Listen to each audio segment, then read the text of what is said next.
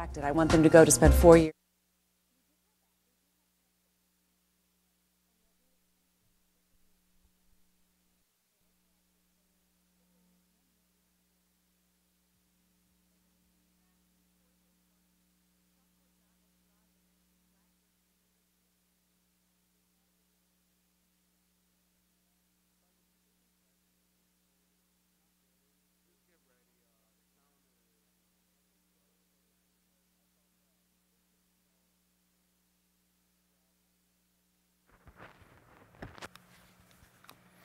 Good afternoon, and welcome to Gardens of California. My name is Jerrold Turney, and I'm your host and instructor. And today's program will be about uh, fungi and the role fungi play in gardens and landscapes. And then the fun end of it, of course, is mushroom hunting uh, and understanding the various kinds of mushrooms, uh, how to identify edible mushrooms, and how to go out and collect them, uh, and what you should do with uh, some of the uh, ones you can't identify. So uh, I've got a whole bunch of samples that came through the laboratory today. If you haven't watched the show in the past, uh, this is a live garden show. You can call in and ask questions at 1-800-339-1193, or you can email us questions as well. Uh, I'm a plant pathologist and a certified arborist and a pest control advisor with uh, licensed by the state of California Department of Pesticide Regulation. So I've worked a long time taking care of landscapes and uh, working with plants. Uh, so if you have a question about your garden, uh, if you had a plant die, uh, or if you're interested in growing a, a, some kind of plant, you want to know if it'll do well in your garden, how to take care of it, how to prune it, how to fertilize it, what pests it might uh, be a problem on that particular species that you're interested in growing, uh, give us a call. If you don't have a problem, give us a call and tell us how successful you were with your vegetable garden this last year. Anyway, so um, I do get a lot of samples that come through my plant pathology laboratory. We'll take a look at some of those samples in a minute. But let's, uh, we have an upcoming event we'd like to uh, show you. Uh, we always start the show with upcoming events. So let's take a look at this upcoming event and then we'll move on to our samples and, and then right into fungi. So the docent-led adult walking tour will be at the Arboretum uh, December 3rd from 2014, of course this year, 10 to 11. Uh, give them a call at 626 821 4623 and you can learn more about um, everything that is happening at the Arboretum. So that's our only uh, upcoming event we have today. Uh, usually we have a few more, but one is plenty uh, because if you're interested in going out and, and enjoying um, gardens, uh, you can always go uh, on the website for any of our major uh, botanical gardens in Southern California, Descanso Gardens, Huntington Botanical Gardens, the Los Angeles County Arboretum, Rancho Santa Ana. I was just out at Rancho Santa Ana this week. Wonderful uh, collection of, of natives. Um, the Fullerton uh, and the San Diego Botanic Garden. Uh, you can take a look at the different garden clubs. Uh, uh, go out and, and uh, meet people with a similar interests in similar plants. Cactus and Succulent Club, the Rose Society, Orchid Society. Um, there's a Bulb and Hemerocallis Society. Hemerocallis or daylilies. So the daylily group, uh, they, many of them meet at the Arboretum because the Arboretum is a center for horticulture and gardening. And so they meet there in the evenings. Um, it's a great way to, to meet new people and learn new stuff about plants uh, instead of sitting in front of the TV all the time and watching TV until you grow old. So uh, get out and enjoy our wonderful weather, this fall weather. I love it. This is one of my favorite times of the year. Uh, I get tired of the heat, having grown up and lived in Southern California my whole life, really. Uh, i get tired of the August and September uh, heat. So when it cools off, uh, I'm in my element. Great time to work in the garden, you know, turn your soil, get it ready for your next, uh, whatever you're gonna plant, uh, whether you're doing a winter garden this year, growing things like peas and spinach and lettuce and uh, the cold crops uh, and all, you know, things like cauliflower and broccoli, uh, all that kind of stuff is winter materials for Southern California. You still have time to put that in right now. Uh, the later we get, uh, the less time you're going to have to really get a big harvest, but you can still plant those. Um, it's not that cold. if we get into December and January, when you plant them, they're going to be a lot slower to grow. the optimum time to plant them is um, uh, mid-September through October and into November, but we're getting to the end. If you want to grow some peas, uh, sweet peas, snap peas, any of those kind of peas, uh, now's the time to get them planted and you can be picking them in maybe February or March. Uh, and then in March, of course, is when you want to start your summer vegetable garden. So uh, let's take a look at a, a few things. And I, I, get a lot of calls on fruit split, especially on oranges, uh, because that's what happens the most. And it's most prone to occur on navel oranges. And so I have a Washington navel in my backyard. And it, uh, Washington navel was the uh, first navel that was discovered in Brazil. And then later, uh, um, uh, after it was discovered and uh, plants or trees were taken to Washington, D.C., they were sent uh, in the 1880s to Riverside to Elizabeth Tibbets, and that was the Washington Navel. And this is a navel, and I just wanted to show you a couple things. So we go to the overhead. I'll tell you a little bit about fruit split in navels, and you can take a look at these oranges right here. And we've got them lined up here. And here's the navel. Well, they all came off the same tree. Look at, this one barely has a navel showing. And the same thing, oh, I gotta flip this over. You, you can barely see a navel showing on this, but this is a typical navel. Well, a, a navel is a second orange uh, within the whole orange. And this is a great spot for uh, cracks to occur. And of course, if you water a lot in the fall, and uh, we have warm days and cold nights, the tree takes up a lot of water. The rind is now mature and firm. It's not flexible anymore. And then it'll split right here at the navel. And once this splits and the, and the, uh, the flesh inside the fruit is exposed, you'll get decay. You'll get penicillium. There's two penicillium species that'll grow on, on oranges, um, blue mold and uh, green mold. There's another one called geotrichum. You can get aspergillus, which is a black mold that'll grow in, into the fruit as well. Uh, they're all really wound obligate. That you need a, to wound the fruit, poke a hole in it, uh, or split it before these fungi will decay it. Um, so now I picked them a little early. You know, navels, uh, their peak of flavor is going to be January, but I find that they actually are very sweet already in December and we're only really a week off from December. But I wanted to share that with you. I get a, so why do you get the fruit split? Well, it's because you watered too much in October. I, the last time I watered this tree was October, the first week in October, and I soaked it real deep. And it's not wilted and it's not showing any water stress. Although it's time to give it another drink, because I was hoping we'd get some rain in November, but alas, we didn't get much or any. Um, so it's time to water it again. I'll give it another deep drench, uh, maybe this evening. Uh, and then that'll be good until January. But you know, the navel is, is just a, a spot on navel oranges prone to split. I rarely see split on Valencias or any of the other citrus that don't have navels, tangerines, um, limes, grapefruits, and uh, lemons. I just rarely ever see split and don't really recall even ever seeing it, but I'm sure it can occur. So those are navel oranges.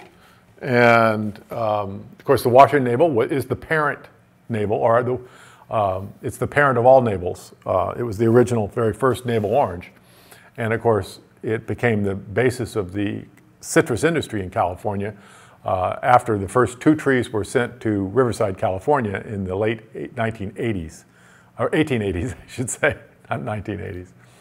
Um, so anyway, um, let's take a look at some more samples. Talking about oranges, this sample came in from a homeowner uh, and here's the paperwork that comes with the samples. The inspectors collect the samples in the field, uh, or homeowners send them in. Uh, it all depends. You know, we have a lot of what we call fruit fly trappers, and they go out and set fruit fly traps in, in citrus or in other types of fruit trees. Now, this has been in the bag a while. A lot of leaves have fallen off, but this has a really distinct uh, symptom I want to show you, and then a couple other little things. And we'll talk a little bit about citrus. I get more calls about citrus than any other uh, plant material uh, used in Southern California. And there that is. Okay, let's take a look at this fruit. These other things in here aren't all that important. Um, if we go to the overhead, we'll take a look at these, uh, this, this orange here. Although they try to tell me that this is a lemon, I don't believe them. Uh, this is an orange. There's two reasons why I know it's an orange. You can see all this russeting all over the fruit. And so what is this? This is uh, called, this damage is caused by the citrus rust mite and it causes oranges to be all uh, orange and russeted. Um, and on lemons, it causes them to be silvery or kind of a gray silvery color instead of yellow. And it makes the fruit very hard, very, very hard. So um, this is the citrus rust mite. It's very easy to control uh, mites in general, with just soaps or oils like Volck oil, Sunspray ultrafine oil, neem oil. Um, any oil will kill insects and mites. Or soap, uh, uh, Dawn dishwashing detergent, any dishwashing detergent, or safer insecticidal soap. Uh, there's a lot of different soap products on the market you can purchase, but you just need to spray the tree. Uh, generally, I recommend that you spray your trees once a week for three weeks, usually in March, to get this pest. Now this is uh, probably a mealybug. Could be whitefly. Tell you the truth, I'm not sure which one it is because they can be very, very similar. If I look at this and just kind of brush at it, it probably is mealybug. So uh, mealybugs uh, are white, fluffy little creatures, often with a long tail, um, and they you know, will usually be on the backs of the leaves. See, this is the top of the leaf here. Here's the back of the leaf. So these insects are almost always in the backs of the leaves, out of the full sun. Oh, you know, they're shaded, it's not so hot, uh, they're protected uh, from predators like birds and other things that want to eat them. Uh, and this is typical on citrus, especially if you're not spraying it. So, you know, these type of, you know, mealybug, aphid, whitefly, um, uh, I don't know if they get a thrip. Um, they also the Asian citrus psyllid, the ACP, is a new pest on citrus and it's very common now throughout Southern California. It's really everywhere. Uh, and of course, it has a special status because it vectors a fatal disease of citrus called citrus greening, which currently we don't know of any trees infected with citrus greening in California. Uh, that's probably just a matter of time before we find another one. Two years ago, one was found, and it was cut down and destroyed, but no others have been found since. So if you spray uh, with an oil or a soap or a combination of oil and soap, and oils and soaps are non-toxic and organically registered, um, and so they have no toxicity to mammals, and they're really, really safe to use. But you have to spray fairly frequently, like once a week for about three weeks in March. With the new uh, flush of growth, you're going to have soft, tender leaves, and that's what these insects like to get on is the soft growth. Um, and so, uh, and the mites, the mites are going to be feeding, you know, getting on the, the fruit when it's small, when it's first set. And they rasp at the fruit and they damage the rind. And then on, on oranges, they turn rust colored. And on lemons, they turn a silvery hard color. But if you just spray when the fruit is very small, right after fruit set, right after it blooms, uh, with oils and soaps, you can get uh, probably 100% control of it. Um, and sometimes you, you, won't have any for many, many years. A lot of people call me up, say, you know, I've never had this on my tree. I've had this tree for 20 years. Well, you might have and you didn't notice it, or it finally got on your tree too, uh, because they're, they're, common and widespread. So this is citrus rust mite, not that hard to control. Um, and I think this is an orange, not a lemon. So let's just set that there.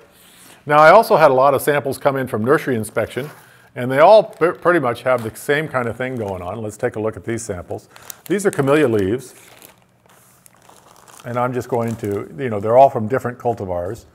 And they all are very similar. Uh, if we go to the overhead, we'll uh, see what's going on with these. And um, you can see that the tips of the leaves are all burned.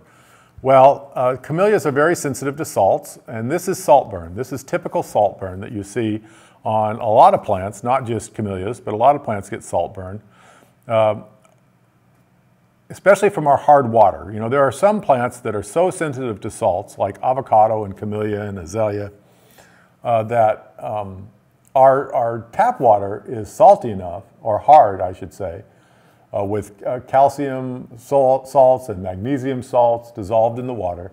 And they refer to that as uh, dissolved solids. And you talk about, you know, parts per million. So our water is often between 400 and 500 parts per million dissolved solids. That's hard water. Soft water would be below 100 parts per million. Like up in the Bay Area, they've got soft water from Hetch Hetchy, uh, and it's below 100. Uh, I don't know what it is, averages, but it's below 100. So that's soft water. And that's not going to, you know, so you're not going to see salt burn watering with that kind of water. But over time, your pots and the soil too will, will accumulate the salts. As you water with this hard water and the water uh, leaves the soil, either through the plant or evaporation from the surface of soil, then the salts stay behind and the, salt, and the soil gets uh, saltier and saltier. And then you start getting the tips of the leaves to turn brown. And that's almost always, you know, you're just talking about salt burn. So what, how do you alleviate that? Well, you, um, you hope it rains because when it rains, If we get a good winter rain and, and really drench the soil deep, it'll flush the salts below the root zone.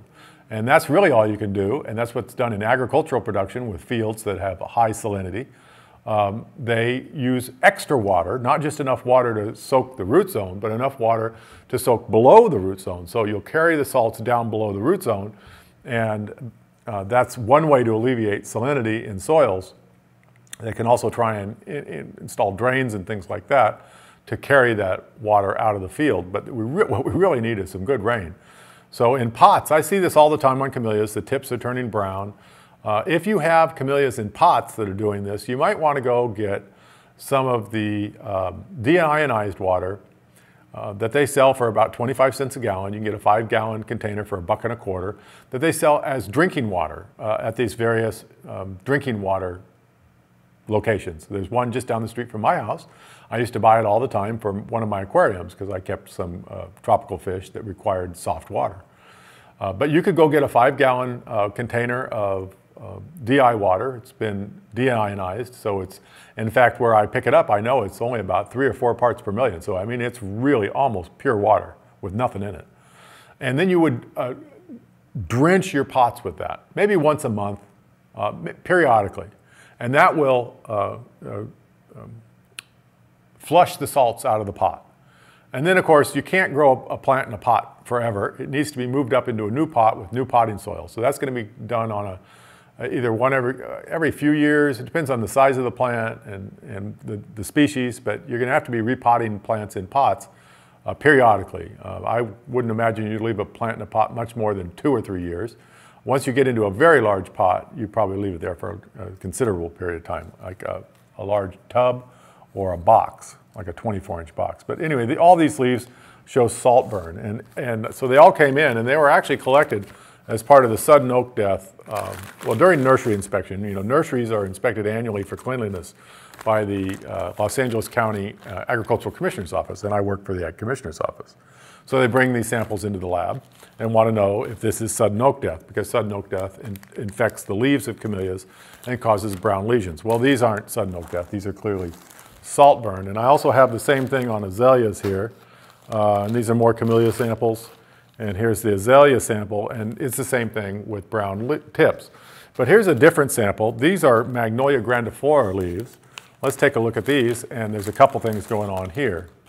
Let's take a look at these leaves. These are probably older leaves. Now, the, another thing about leaf spots, leaf spots can be kind of difficult to diagnose. Um, sometimes there's certain, certain things that just give it away. First off, old leaves almost always going to start turning brown. Uh, but there's also sunburn, and sunburn, this is typical sunburn right here, and this too.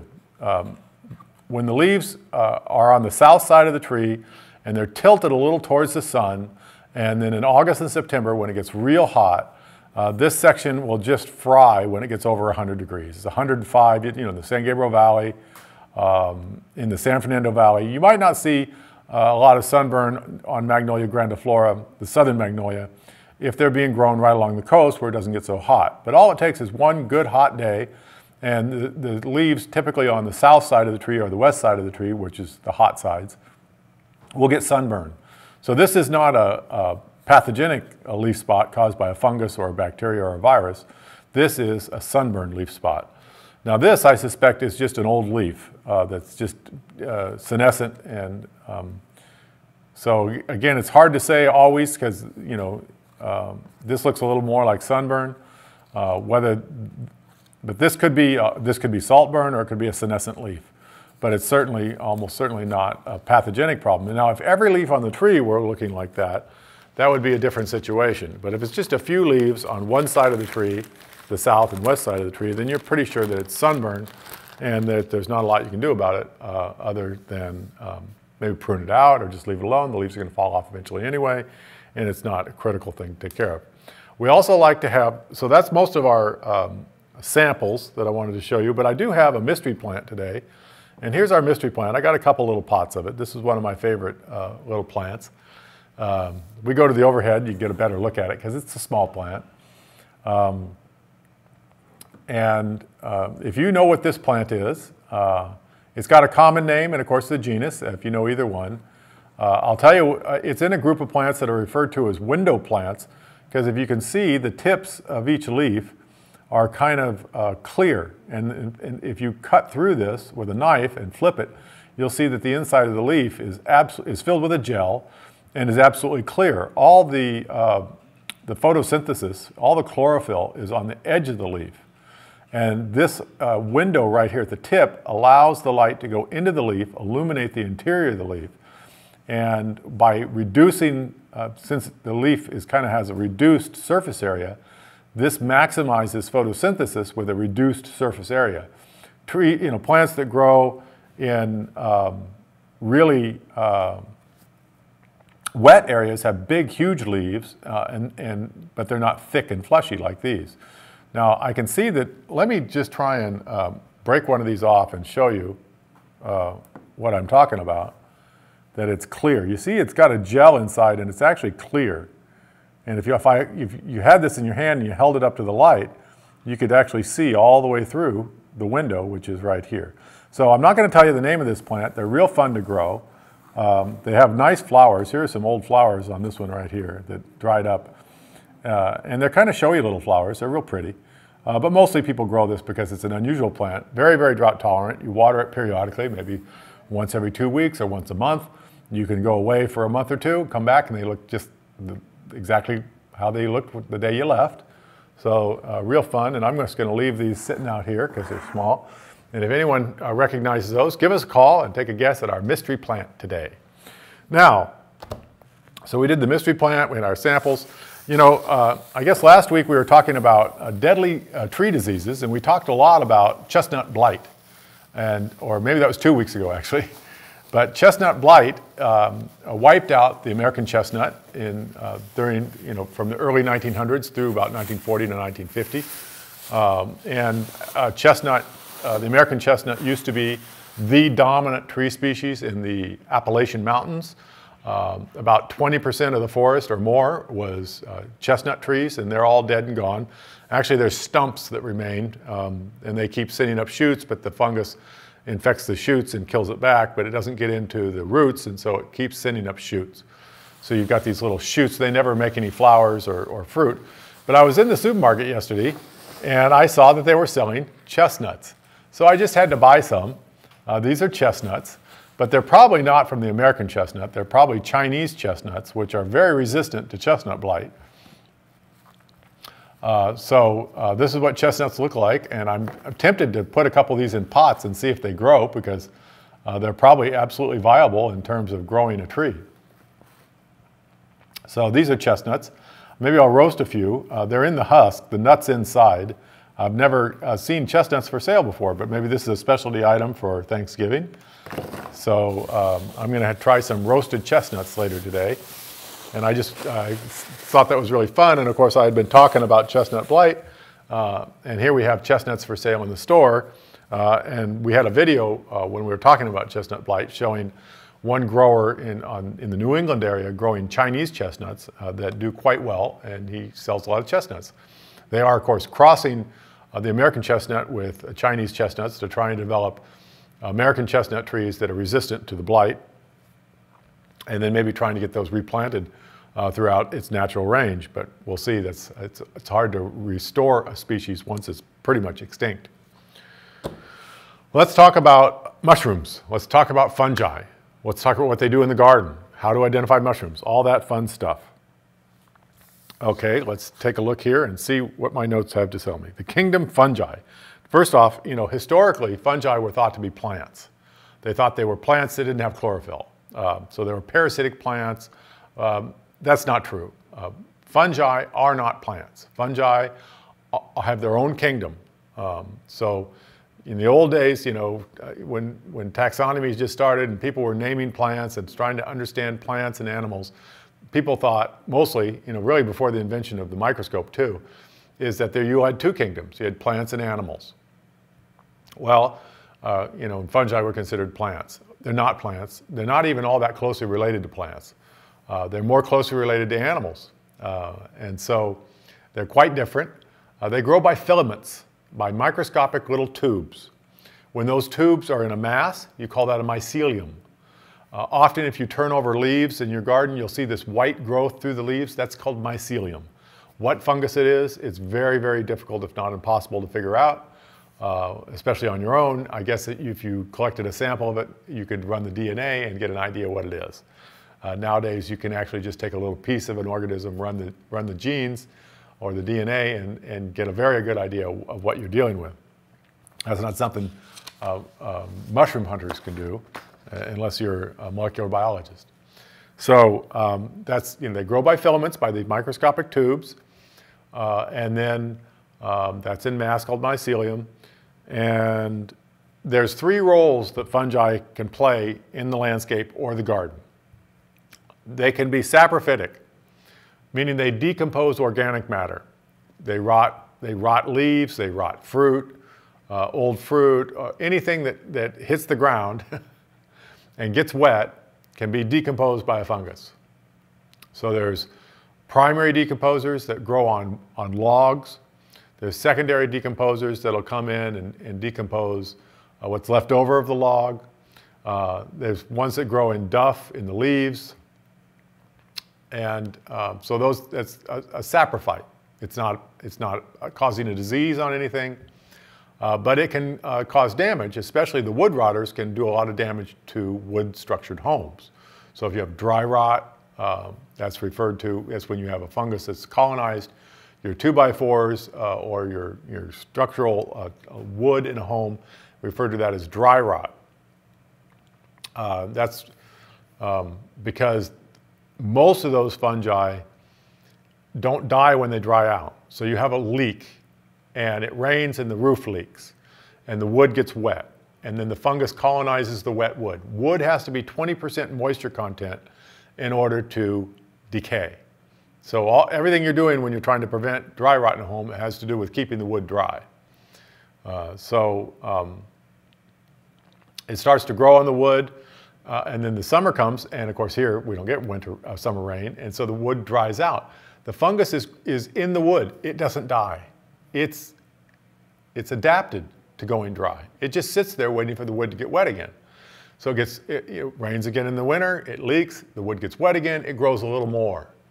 So then, it, you know, and so when, by the time you come and look at that wood and realize it's colonized and decayed, it's dry. So it's called dry rot. But it doesn't advance when the wood is dry. It's, it, as soon as you dry out the wood, it stops.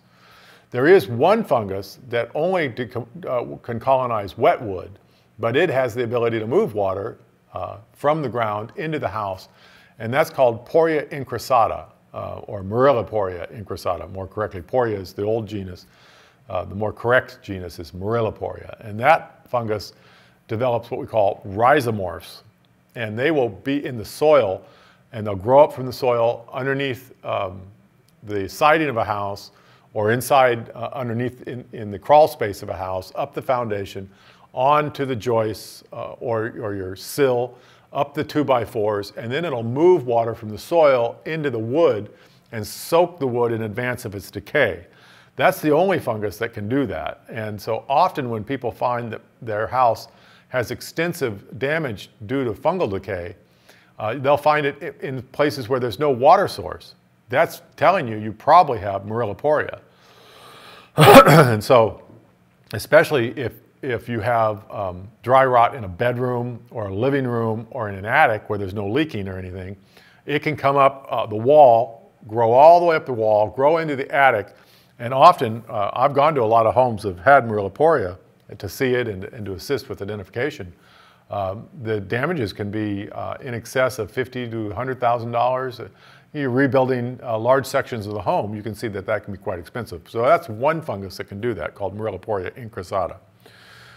So those are saprophytes. So the other thing that they, uh, fungi can be are pathogens. They can cause disease, mostly on plants. There's a very small group of, of fungi that can infect mammals. Uh, there are some lung diseases associated with fungi. You can have fungal pneumonia. You can have valley fever. Uh, there are some skin diseases from fungi, but that's a very small group of fungi that are capable of infecting animals.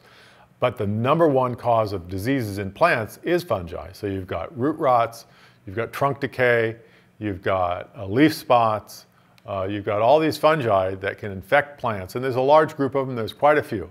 So fungi can be saprophytes or they can be pathogens.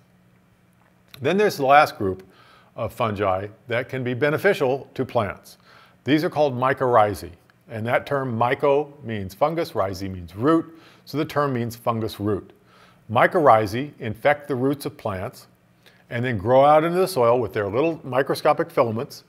And they have this huge surface area. When you think of those little microscopic uh, tubes growing out into the soil, and there's millions of them, uh, they can have this huge surface area. And they're very efficient at absorbing mineral nutrients that are in very low supply in the soil, particularly phosphorus and zinc, which are not particularly soluble and are hard for plants to absorb through the root system. So these fungi that are growing and infecting the roots grow out in the soil, absorb mineral nutrients and water, and provide it to the plant. There are two broad groups of mycorrhizae, although there's more than just two groups, but there's two broad groups. There are endomycorrhizae that grow inside the roots of plants, and there are ectomycorrhizae that grow on the outside of roots of plants. Most plants are endomycorrhizal. Uh, the vast majority, all your fruit trees are really endomycorrhizal, all, especially stone fruits, citrus, um, most of your fruit trees, grasses, all your vegetables. So almost everything out in your garden is probably endomycorrhizal. Now the exception are north temperate tree species, the Pinaceae, uh, the Fagaceae, you know, the beech family, the oaks, um, uh, the, um, all the pines. Uh, these are ectomycorrhizal. And they grow quite differently than the endomycorrhizal species. The endomycorrhizal species, the fungus grows inside the root. It makes these uh, haustoria, which is like a finger sticking into the plant cell. There's a close, the two membranes are right up against each other. They're exchanging materials back and forth uh, in that haustorial relationship. Um, the ectomycorrhizae don't grow inside the root, they grow on the outside of the root. Uh, they make a sheath that covers the root. They actually change the morphology of the root. The root becomes stunted and often just two little lobes will be at the end of the root. And then the fungus grows out in the soil and is doing the job of the root uh, absorbing uh, all these different mineral nutrients.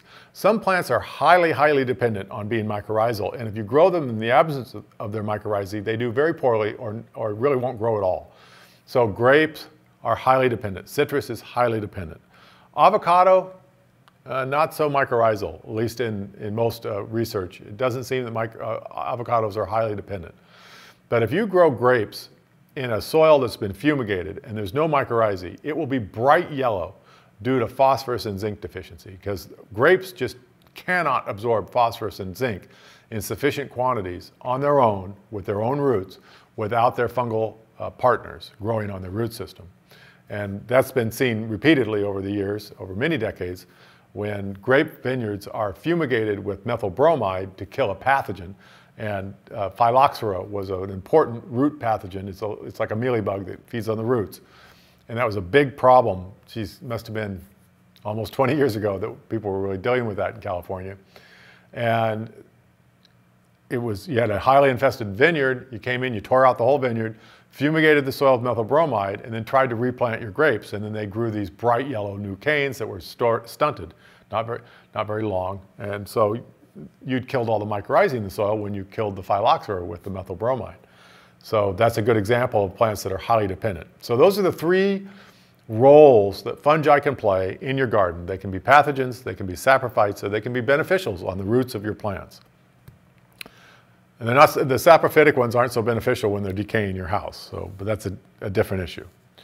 So uh, let's um, take a quick look here and talk about um, the two broad groups of what we call the higher fungi.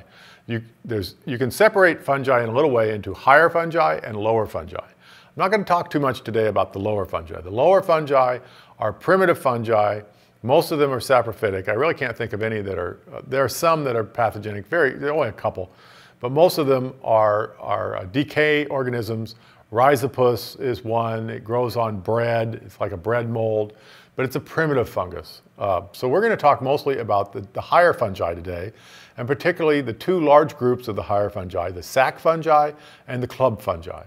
And they're referred to as sac and club fungi because of the way they make their sexual reproductive spores. Now fungi have a unique ability to make asexual spores. Um, Fungi, of course, don't make flowers.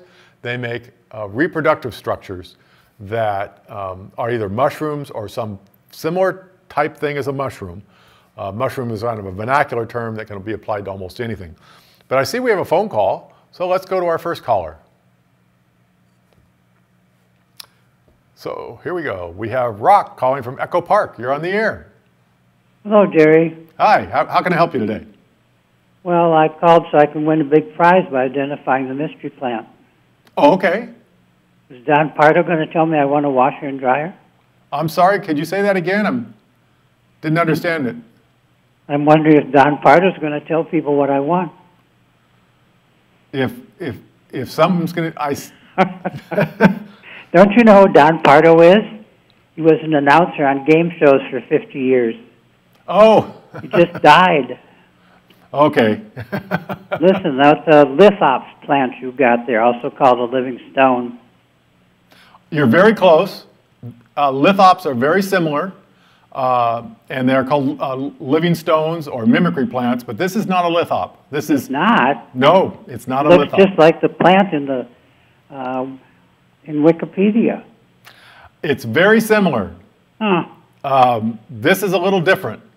Uh, I don't think it's even in the same family, but this is what you call convergent evolution. Plants that are not genetically related to each other have come to the same form, uh, the phys- their physical form, to survive in uh, the same environment. A good example is cactus in the Americas and euphorbias in Africa. They, they look like cactus. The euphorbias look like cactus, but they're not. They're, they're not in the cactus family. So this looks a lot like a lithop, and I Yes, brought I in have one. and I brought in some lithops. Maybe uh, uh, within the last few weeks, I brought in a little uh, four-inch pot full of lithops. Uh, but this is is not a lithop. But it was a good guess. That's very close. Well, I went to um, a succulent show about 30 years ago at the Arboretum. Didn't you used to work there? I worked at the Arboretum for two years, uh, a little more than two years, as a uh, research horticulturalist. Yes. Ah. Well, they had a wonderful show. They had a lot of uh, succulents from Africa that look like stones. There's a little bit of vine growing out of them. That's right. There's and and I think the uh, uh, they have uh, the cactus succulent show at the Arboretum every year.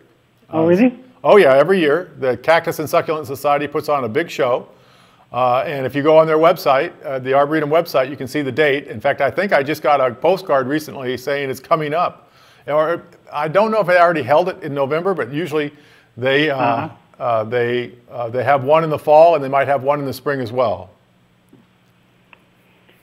Well, I'm just crushed that I didn't get the answer right. You're so close. You're very I'm close. gonna I'm gonna try again next time. Okay. Well, thank you for your call, uh, and thank you for watching the show. okay. So he was close. He's very close, and hopefully, uh, now if someone doesn't call in with the name, um, uh, I'll tell you uh, just after uh, one o'clock when we, after we take our station break. But anyway, good, good, good, uh, good guess. Uh, and lithops are really fun to grow too, and they're all what we call window plants. They always they have these little markings. Of course, I showed you lithops a, a couple weeks ago. I had a tray of them. I used to have a lot of lithops. I don't have as many as I used to have. I used to grow them from seed too because that was fun, and they're fairly easy to grow from seed. And they're inexpensive. For uh, one or two dollars, you get a, a cute little plant. Does quite well on your windowsill. My, you got to be careful with lithops, lithops. You water them once at the wrong time of year, and they just turn to mush and die on you. So they're kind of tricky. And you can't grow them outside, especially in the winter. You can't let them set them out in the, in the rain in the winter. You'll just turn them to mush. But let's talk about mushrooms. We're talking about the sac fungi and the club fungi. So what are the sac fungi? The sac fungi reproduce um, most of them make microscopic or very, very tiny um, uh, reproductive structures or mushrooms. There are some that make fleshy um, uh, reproductive structures. And um, often it's a cup uh, or it's similar to a cup. And like powdery mildews are sac fungi. And the technical name for the sac fungi are the ascomycetes. And ascus is a sac. And so they make an ascus. It's a sac, and inside the sac, it's microscopic. There'll be eight spores for most of them. And then uh, you'll have like a cup, and it's lined with these microscopic sacs, and when you bump it, it puffs the spores out in the air. Those are the sac fungi. That includes the powdery mildews, uh, a lot of these cup fungi, Um, uh, there's just quite a few of them. It's a big group. Then there's the club fungi. The club fungi are the mushrooms, the conchs or shelf fungi that grow off of trees, the jelly fungi, um, uh, rust fungi. These are all what we call club fungi. And if you were to take a cross section of a gill of a mushroom, you would see that there's a little club-like structure and on the end of it are four spores that are out in the air, they're out in the open, and they pop off and they drop off the gill. So that's your two big groups, club fungi and sac fungi. We're going to start with uh, looking at the various mushrooms and a lot of other similar, uh, at least similar in how they reproduce their spores. They look quite different when you see them in, uh, up close. So uh, now why are fungi, let me just um, backtrack just briefly and tell you why fungi uh, are not plants. First off, they don't produce uh, any flowers or anything like that, or even cones. Uh, of course, there, there are plants that don't make either too. But uh, fungi have chitin as the main uh, cell wall constituent. Uh, and plants have cellulose. so that's a big difference. Um, so chitin, of course, is also found in the ectoskeleton of insects. So chitin really is something that mushrooms or fungi share with animals and not with plants. So they, of course, I mentioned their filamentous growth and that they are more closely related to uh, animals than plants. Um, so what are the, uh, I, um, let's talk about the club fungi and let's start talking about the characteristics that you can use to identify mushrooms. Uh, first off, uh, the gills. Let's take up our first picture, uh, number one. And this is actually an important mushroom in Southern California called um, Armillaria mellea. So if we can take up our, skip all the pictures of crepe myrtle trees because we're not going to talk about that tree uh, right now, if at all. And if we can get our first picture, Armillaria mellea, and bring that up full screen. Now this is the oak root rot fungus. This is a pathogenic mushroom. Uh, there's not very many. There's only two that I can think of, tell you the truth. So let me get uh, uh this marker. And I'm going to show you some things. First off, this is the cap. These are the gills. This is the stem or the stipe. And this is called an annulus or a ring. So this is a gilled mushroom. And this is Armillaria mellea, the oak root rot fungus. And there's some, so when you're collecting a mushroom, you need to look for the things that are characterize mushrooms. You need to look at the gills and see if they're crowded or if they're, uh, or if there's gills there at all. You look at the mushroom, you turn over, are there gills? Or are there pores or are there teeth? You look to see if an annulus is present or absent. You look at the top of the mushroom cap to see if there's any scales, what color it is, how big it is. You can cut this stipe in half and see if it's hollow or if it's stuffed. These are all important characteristics. But the first step is to cut this cap off right here and then take the cap and put it on a piece of paper and cover it with a bowl or a glass. And then you will get what's called a spore print. And I showed you a spore print, I think, last week, but I'll show you some more. Now, I made up this little form for myself some years ago. Let's go to the overhead, and I'll show you uh, the things that I, have, I take note of when I'm identifying a mushroom. Uh, first off, I want a spore print. So I put the mushroom right here. I put a, a bowl over it. I wait about an hour, and then you get the spores accumulating on the paper in the pattern of, you can see the gill pattern, and you can see what color it is. Then I have a bunch of stuff I take note of. I, do, I make a little drawing of the mushroom too. I'm not the best artist in the world, but this is a young one that's unexpanded. Here's a mushroom that's expanded, and I show that it has a, a kind of a skirt-like annulus or ring. And then I, I, write down a little description, what I see. Uh, the cap color is white, the eight centimeter cap. Spore print, uh, if I look at it, it's still got that same color. It's kind of a chocolate brown. Um, uh, at, I found it at the Arboretum. Uh, many in, in the number and collection. It was growing on soil. It was an oak woodland. It was growing among oak trees. Um, it's an agaricus. Um, and this is from the year 2000. And look how this I made in, in 15 years ago. So this spore print still is here 15 years later. Now I've got quite a few that I've done over the years. And this is one I made before I made the form up. And this has a black spore print. And uh, then I've got my drawing of the mushroom and then notes about where I found it. I found it in Eaton Canyon. Uh, there were seven in the collection. Um, and this talks about how big the cap is. Uh, and I don't know, this, the spore print is purple black, but I don't see that I've written down what the actual species was on that one. Let's take a look at another one real quick, just to show you. Um, here we go. That's a nice spore print, uh, but there's no notes. Uh, and I just wrote down Pholiota. So I probably made that spore print, but didn't come back and get my notes. So, but anyway, uh, I mostly wanted to show you what a spore print looked like and why you make a spore print. Because when you're going to identify a mushroom, you have to know the color of the spore print. The spores in mass. If you look at the spores in a microscope, they'll just be clear. But when you want to identify a mushroom, now if you've learned mushrooms and you can recognize them, fine. There are some mushrooms that are easily recognized, just like you tell the difference between an orange and an apple. Uh, if someone handed you an apple and said, what is it? Yeah, that's an apple. Well, because you know what it is. You don't have to identify it because you've already learned what it is. So, but if you don't know, if you're out in the woods, walking around and you see a mushroom and you wonder, what the heck is this? Which mushroom is this? What's its name? Is it edible? Uh, you know, what's its, what's, what's its role? Is it a saprophyte? Is it mycorrhizal? Well, the, I've shown you this book before. This is Mushrooms Demystified by David Arora. And this is a key. This is a mushroom key. And so the first couplet, you always go by couplets, one and, you know, 1A, 1B. 1A will say spore print light colored. In fact, let me open it up to the key. Uh, here it is, Mushrooms Demystified by David Arora. This is nice because it's not, doesn't use a lot of technical terms. It uses more vernacular terms. David Arora is not a professor at a university. He's just a very well educated uh, mycologist on his own. I don't know if he actually got a degree in mycology or not, to tell you the truth. I should read more about his bio, uh, biography. But he, I think, uh, lived in Santa Cruz or grew up in this, works really well for California, particularly the coastal mountain ranges of California. But if you take a look in here, and we'll take a look at the key. Now, there's a lot of nice things in this book to help you identify mushrooms. And he's kind of witty, too. So if we take a look at this page, uh, and I'll show you a couple things I mentioned. Here's the sac for the ascomycetes. Here's the club for the, for the basidiomycetes, or the club fungi. This is called a basidium, this is called an ascus. Over here, he diagrams all the different things a mushroom can have.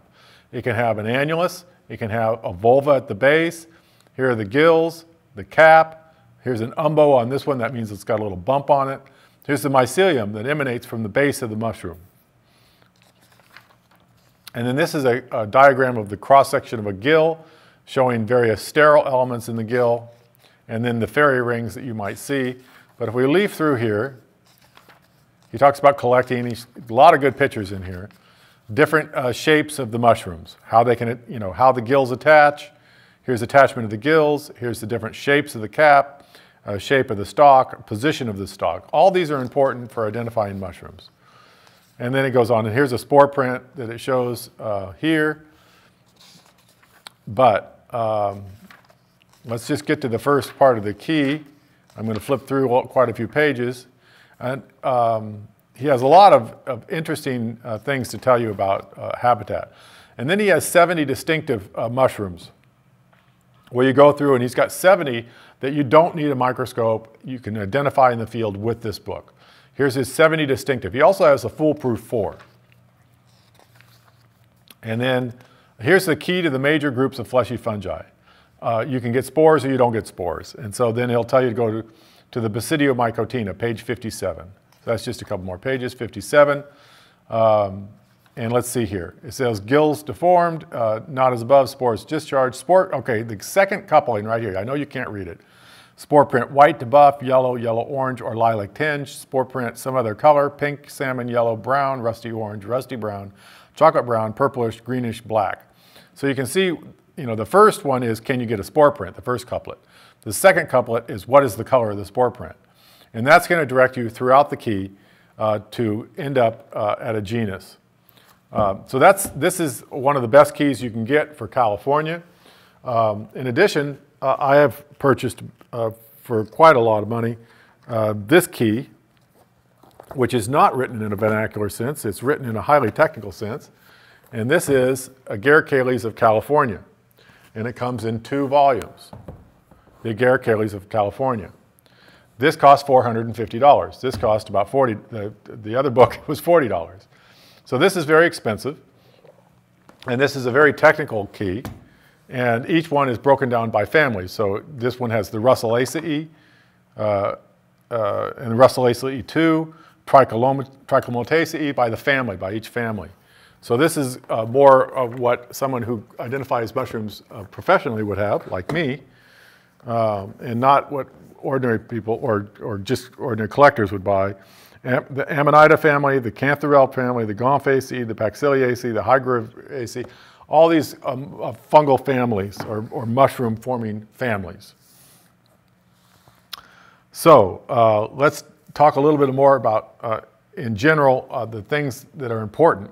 Uh, the spore print color was our number one uh, thing to learn in order to identify a mushroom. Ring, or the annulus, and we saw that on those armillarias. Is it there or is it not there? On some very small mushrooms, that annulus can be very briefly there, and then it can be very cobwebby and just, so it's very important to try and get more than one mushroom when you're collecting a species and trying to identify it. You want some very young ones that are the cap's just starting to open, uh, and some older ones where the cap's been open all, for a while. And then you can see whether, you know, because a lot of times you'll miss that annulus. So, especially if it's got a very, uh, you know, you know, cottony, uh, cobwebby type annulus or ring that just kind of disappears with age. Uh, the other thing is the universal veil. Now, there's two veils. There's the partial veil, which creates the ring. The partial veil goes from the edge of the mushroom to the stem. And so when the mushroom is just opening up, that will be covered up underneath by that partial veil. As the cap expands, it rips away and, and hangs down and becomes the ring or the annulus. The other is the universal veil, and that covers the whole mushroom. And, and, and the mushroom starts off in this egg-like structure and then pops through and leaves behind a volva at the base of the mushroom. So the presence of a volva is very important when you're identifying mushrooms. Some of the most deadly poisonous mushrooms have volvas. So you, so you have to collect the whole mushroom. You've got to get a trowel, and I have a little uh, uh, a kit here um, that I'm going to talk about how you collect mushrooms, but you need to have something like this, a trowel, where you stick it in the soil and pop the mushroom up. You can't just grab it and pull on it because you'll break off the stem and you'll leave the base in the ground. So you need a, you know, some type of, of uh, little garden trowel works perfectly well. A spoon would work, a little knife would work, anything to dig in the soil and pop the mushroom up and get the whole mushroom. So you got to have one of these when you're out mushroom hunting. But let's take a look at our next picture, which is Amanita phalloides, one of the most deadly mushrooms known and uh, bring this up full screen because this shows uh, the uh, volva. So here's, here's, you know, you've got this kind of off-white or yellowish cap, and here's the volva right here, this cup-like structure. Uh, and when this was just coming up, it was an egg like this. The mushroom was inside. Here's your mushroom inside.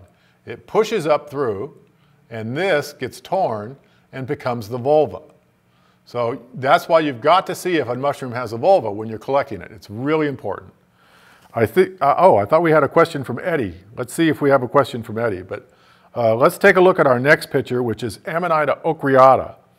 This last one was phalloides. This is, uh, our next one is Amanita, uh, Amanita ocreata. Now the Amanitas are the deadly poisonous, you know, some species within the genus Amanita are deadly poisonous and they have liver toxins. And I guess I should digress just for a moment. Uh, but, and we'll take a look at this picture. We'll bring it up in a second. Uh, I, I, let's just briefly talk about um, mushroom poisoning. There's two kinds of mushroom poisoning. There's gastrointestinal mushroom poisoning, where you get sick to your stomach and you throw up and you feel horrible for a couple days. Then there are the liver toxins, the, am, the amatoxins in Amanita and, and some other uh, genera that also produce what we call amatoxins. And those are liver toxins and they, and they wreck your liver, they destroy it, and they shut it down. And those are deadly, and those won't make you sick for a little while. I see I have a question from Eddie Um, and it says, I have many cactus and succulents I would like to donate. If you could tell me who to donate them to, I would like to be, I would be more than happy to do so there from Central America uh, and Africa and so on. Well, a great place to donate them. There's two really wonderful places to donate them. You could donate them to the Los Angeles County Arboretum, uh, and they would go into their collections. Uh, if they can be grown outdoors, they may end up planted in the garden. Uh, if not, they may end up in their interior collection. Uh, the other would be the Huntington Botanical Gardens. If you want to donate the, them to the Huntington, the Huntington, of course, has the largest collection of cactus and succulents in the world, a 10 acre cactus garden, cactus and succulent collection. It's not all cactus, they also have uh, African succulents. Um, you know, this, the cactus do not occur in, outside of the Americas. There is one species in India, but all the other species of cactus in the cactus family, the Cactaceae, occur in the Americas, North America, uh, Central America, and South America. So in Africa, there are no native cactus. And the, the plants that grow in the deserts there are very similar, almost look identical, except when they bloom, they have completely different flowers. So the euphorbias, uh, and then the other things, that, you know, these little tiny succulents, lithops, this one almost certainly comes from Africa, although I'm to have to tell you the truth, I don't know where this is native to, uh, and I'll have to look it up. But if you have a question, uh, go ahead and email it to us or, or give us a call at 800 339 1193. And I was, let's go back to mushroom poisoning. So, gastrointestinal, about the vast majority of mushroom poisonings are from one mushroom called the green parasol mushroom, which is uh, Chlorophyllum molybdites is the Latin name. And it grows in August. In uh, usually August, maybe July, August, September. As soon as we get hot, if we get a, a, a thunderstorms in August, you know, coming up, and we're hot and humid, you'll see them coming up in big arcs in lawns. So they come up in lawns. They come up, you know, they come in your lawn. They used to see them all the time uh, throughout the San Gabriel Valley. And they, uh, at first when they come up, they have white gills. But as soon as they start to mature the gills, they'll turn light green and then dark green and they have a green spore print, and they've got a scaly cap. But when they first come up and they're young, they have white gills, and they can be mistaken for lepiotas. And lepiotas are a prime uh, choice edible. But if you eat um, any of, if you eat a little bit of the green parasol mushroom, within about 30 minutes, you're going to be sick to your stomach. And then within an hour, you're going to be very sick to your stomach, and you're going to really regret having eaten it. And then you're going to be sick for two or three days, and you're going to spend most of that time in the bathroom. so uh, that's and, and that's the most common cause of mushroom poisoning. But you'll get over it uh, and you'll not eat it again. But if you were to eat an Amanita, like the two that I just showed, Amanita phalloides or Amanita ocreata, and several others that are within the Amanita genus, you wouldn't feel sick in 30 minutes. You wouldn't feel bad for a, a day or two. You'd eat it, and maybe 24 hours later, your liver starts to shut down. Then you start to feel real sick. Then you need a liver transplant. So uh, every year, somebody up in the Bay Area eats an Amanita out of Golden Gate Park and either gets a liver transplant or dies. Uh, and um, so it happens periodically, not very often. You don't see Amanitas coming up in people's backyards very much in Southern California. It's really a forest species. They are almost all mycorrhizal. I think really all the Amanitas are mycorrhizal. They grow in association with tree roots. Uh, so uh, you're not going to usually see them very often down here. Occasionally, I've seen some amanitas in some parks, but not very often.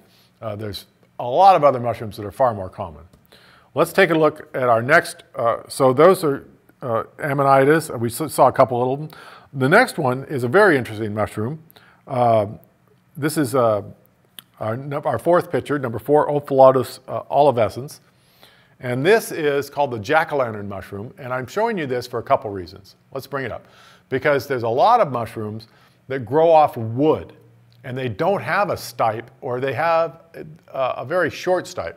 So how the gills connect to the stem, and if there's a stem, are important characteristics when you're identifying mushrooms. So these gills here run down the stem. Here's the stem, it's very short. And sometimes you'll see it attached right on the wood with no stem at all. And so um, this is called decurrent. The, the gills run down the stem. Also, this illustrates another thing, is the substrate that mushrooms are growing off of. Uh, what, what does it uh, um, grow on? Is it growing on soil? Is it growing on wood? This is growing right off of a tree. This is called the jack-o'-lantern mushroom because, uh, at least on the East Coast, this mushroom is photo is uh, bioluminescent, which means it glows in the dark. And so you can see it out in the woods at night, and it has a faint glow to it. Uh, I've never seen that on the western species. I've seen it uh, out at Rancho Santa Ana on an oak, and it's a pathogen. It actually uh, can cause root rot and a trunk rot in a lot of different trees, and, and it can kill, especially oaks. It loves oaks. Um, and armillaria likes oaks too a lot. So uh, that's a little bit about, about, that. Now the other thing is the things you might see uh, uh, on the cap itself. It, it, the cap can be ornamented. Let's take a look at our next picture, number five. You know what? Um, I think what we need to do right now is just take a short break for station identification. And when we come back, we'll take a look at some more mushrooms and we'll talk more about identifying mushrooms and their role in the garden. See if we're ready to go to our station break. You are watching DHTV, the broadcast programming service of California State University, Dominguez Hills.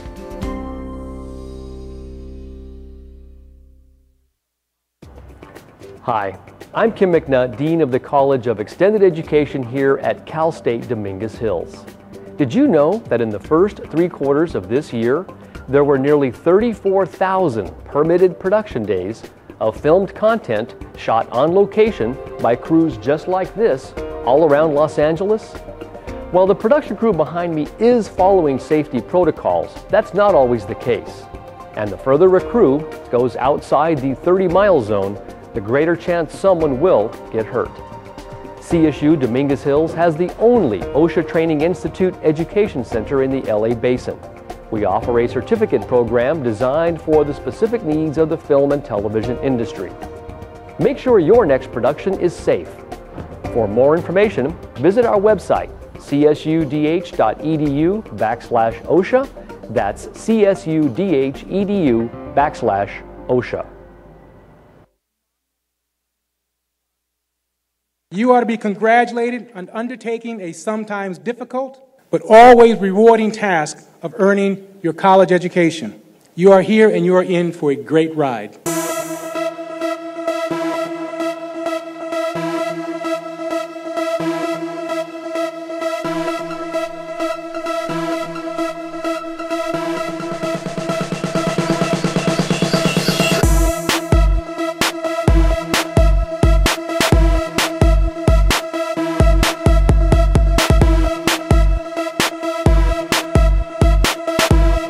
Have to want to be successful.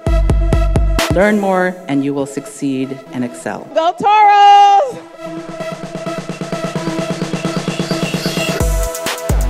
You can be the class of 2018 that changed the world. You can do that because you're at CSU Dominguez Hills. At Dominguez Hills, we want you to get better.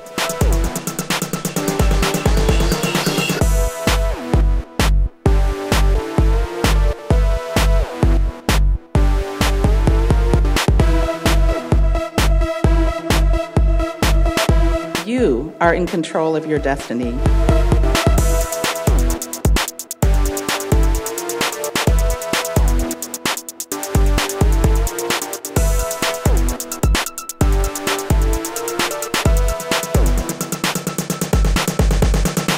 Do well, go Toros.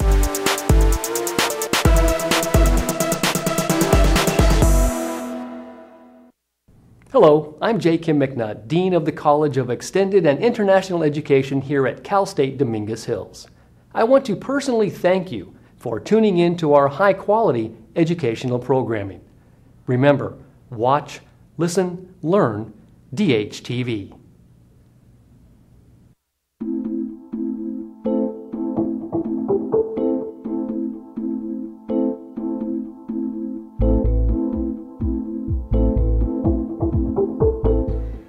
Hello, my name is Dave Bader, Director of Education at the Aquarium of the Pacific in Long Beach, California. I'm really excited to be a partner with Cal State Dominguez Hills and DHTV.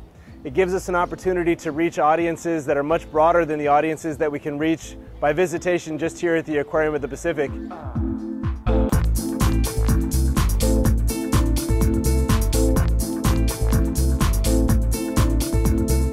My name is Kira Mathis. I'm an education specialist at the Aquarium of the Pacific, and I teach here at Cal State University Dominguez Hills the Biology 190 Introduction to Marine Life course.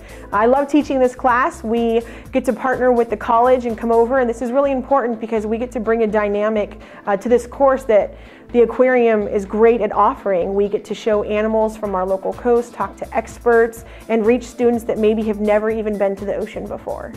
Join the Aquarium of the Pacific and learn about marine life. DHTV makes it all possible.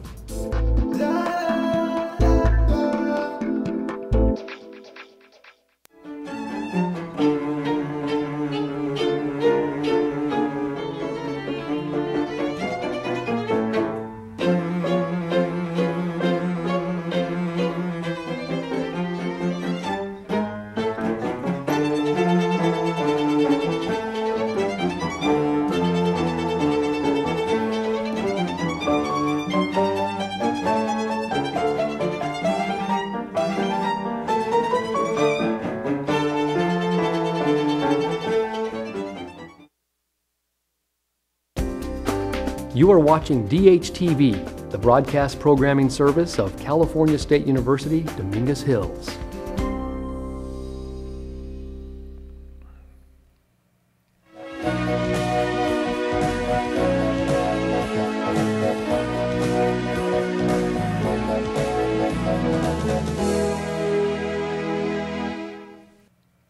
Welcome back to Gardens of California. My name is Jerrold Turney, and I'm your host and instructor. And today we're talking about mushrooms and how to identify them and the role of fungi and all the different kinds of fungi that are out there. Uh, Eddie uh, recently, you know, in the first hour, he emailed us asking about donating his uh, cactus and succulents. Uh, his second message says that uh, there's, uh, he needs some help transporting them. Um, and so I would say give the Arboretum in Arcadia a call. And if you really have rare materials, they'd be more than welcome to come and pick them up. I'm almost sure of that. Um, especially if you've got some larger uh, uh specimens that are uh, value, uh, absolutely. Um, typically, just one other comment, typically you need to get them appraised for, because if you donate to the Arboretum, you can get a tax deduction for that. That's a charitable, they're, they're charity. So if you donate it to them, uh, but you're going to have to come up with the proof of their value because usually the institution that receives it, in this instance, uh, they don't want to be put on the hook for saying what they're worth. It's not too hard to figure out what they're worth. You can go to a nursery. Uh, you could go to the California Cactus Center on Rosemead in Pasadena and, and just show them pictures or ju just take pictures of their plants if they're the same as yours and see what they're selling them for. And that's what they're worth for your tax deduction. Uh, so if you donate to the Huntington, if you donate to the Arboretum, um, I'm sure you know the foundation is a nonprofit. Uh, you donate it to the foundation, they'll give you a list of what you donated, but you're going to have to prove what it's worth. Just a caveat. Uh, usually that's how it works because they don't want to get called in to try and justify that if there's any question from the Internal Revenue Service. So yeah, give them a call. I, would be surprised if they're not willing to come out and look at your plant material. So we were talking about uh, the, uh, mushrooms. And let's take a look at number five, which is Amanita muscaria. Now this is a famous mushroom, of course. This is the most common mushroom you see in fairy tales and children's books. Uh, it has a red variant. Uh, the red one is the common one. There's also a yellow variant. It's also Amanita muscaria, the fly agaric. Bring it up full screen. This is an Amanita, but it's hallucinogenic rather than being deadly toxin. And in this case, the uh, universal veil it breaks up into little tiny pieces and uh, is all over the cap. So all these little warts or, or these little appendages on the cap started off like this over here, just solid white. And then as the mushroom comes up and expands, uh, and uh, then the universal veil breaks up into these patches all over the cap. So that's uh, just one example of what you might see on the, on the cap. The other is color. You know, this one's red, but they come in many colors. Let's take a look at our next picture, number six, Lepista nuda. And Lepista nuda is one of the uh, really excellent edibles, and it's violet colored. So it's not hard. I think Lepista nuda is what I would call one of the foolproof four. They can get a little washed out if it rains a lot. Let's take a look at this full, screen. Full screen. And you can see the lilac uh, color. You can also see that the gills uh, are notched as they approach the stipe or the stem. And there's no annulus, there's no ring here. So it's lacking the annulus, and you can see you got the whole mushroom here. There's no volva, no volva, no stem, violet colored. These are all the things you need to know when you're going to identify these mushrooms. This one's a little washed out. They can be quite a bit darker than that. They grow in the duff, they grow in the leaf duff, uh, they're, and they're one of the ones that everyone's looking for because they're an excellent edible. Now this is probably adnexed, and that's the term that's used for the, the gill, here's the stem, and the gill comes up to the stem and does this. And it gets to it, it's, it's not free. If, if, here's the stem, and the gill comes up and does this, and it doesn't make it to the, to the stem, it's called free. If it does this and the gills run down, it's called decurrent. So it's really important to see how the gills are attached to the stem. That's Lepista nuda or the blewit. Now, the next one I want to show you is uh, number seven is the oyster mushroom. And this is another really choice edible that you should be able to recognize as easily as recognizing an apple or an orange. Bring it up full screen. Uh, oyster mushrooms uh, grow on logs or grow on uh, dead trees. And often uh, they're sessile, which means there's no stem, or they have a very, very small stem. The gills are decurrent, they run down the stem, um, and they're white. Uh, for the most part, they're white, and, and I believe they'll have a white spore print too.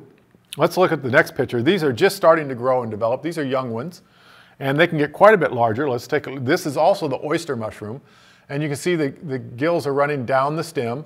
They're usually in a cluster, a whole clump. And uh, this is one of the mushrooms that's very easy to grow at home. You know, one of the things that's really fun about uh, uh, mushrooms is that a lot of these saprophytic or, or heart rot causing fungi, this is a, a, kind of a saprophyte. I see it on dead logs. I often see it up in the San Gabriel Mountains uh, after a good rainstorm, which is, you know, in the fall after we get our first rain, uh, usually you can go up and you can see a lot of mushrooms in the forest. And this one you'll see on dead logs. Um, it's growing right on the wood. It's white. It's got decurrent gills. There's really nothing else that's going to look like that. This is one of the easiest ones to recognize. Now, and in that vein, because uh, I want to talk a little bit about growing them, let's go to our, um, our first uh, uh, video clip, uh, number one, which is a documentary on mushrooms. And it's going to talk about their role and then we're going to talk a little bit more about growing mushrooms. Let's go to our first video clip.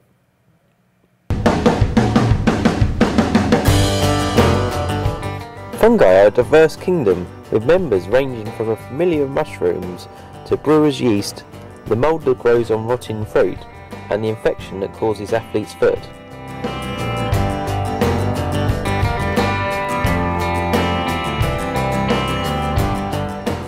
There are no such things as toadstools. All fungi are mushrooms.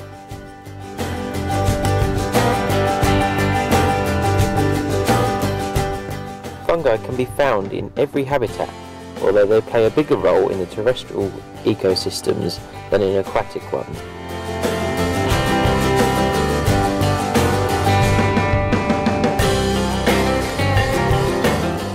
The vast majority of plants have a symbiotic relationship with fungal species that grow on their roots.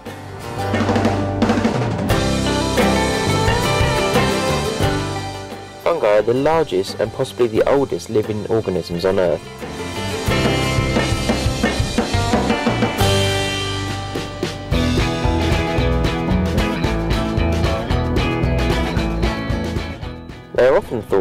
As being plants, but some experts say they are closer to being animals. There are at least 70,000 species worldwide, approximately 12,000 in the UK.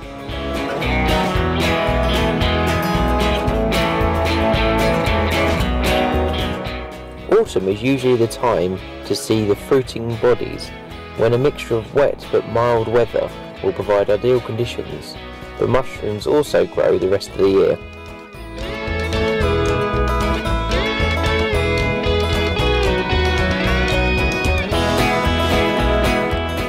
fungi living alongside trees can both nourish some trees and kill others. Chicken of the woods will kill an oak tree, but field mushrooms will nourish other trees.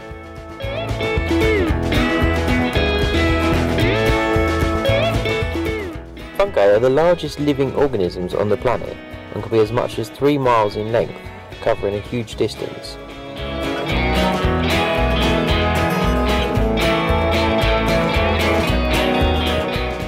When you see a troop of field mushrooms, they could be connected to a mycelium stretching from a wood a mile or more away.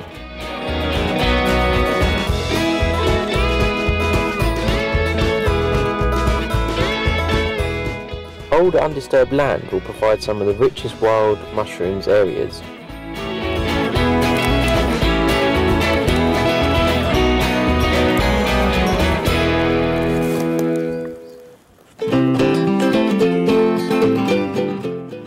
cannot make their own food using energy from sunlight, but grow by absorbing food and water from their surroundings, most importantly from living and dead plants and animals.